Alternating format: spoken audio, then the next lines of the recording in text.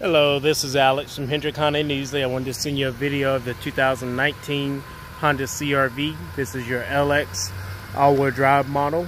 One thing you're going to notice with the uh, CRV, they actually have your LED daytime running lights here to help with visibility when you're riding down the road. Of course, it comes with the nice alloy wheels um, on the even on our base model LX. And of course, uh, with this one being all-wheel drive, you get really great gas mileage for all-wheel drive you're looking at 25 in the city and 31 on the highway.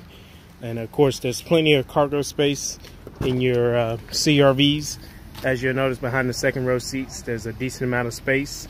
Um, the great thing about all CRVs, they come with a full-size spare, so you don't have to worry about putting a little donut on there. And if you do need more cargo space, you just simply pull this lever here, and it will fold the seats down for you once the seat belt moves out of the way.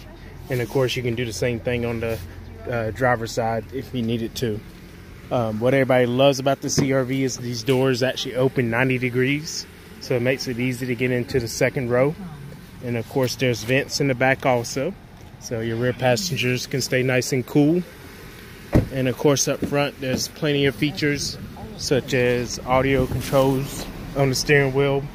You have your uh, 5 inch screen here that's going to have your backup camera and what makes the Honda different is we actually have three different viewing angles on our backup camera.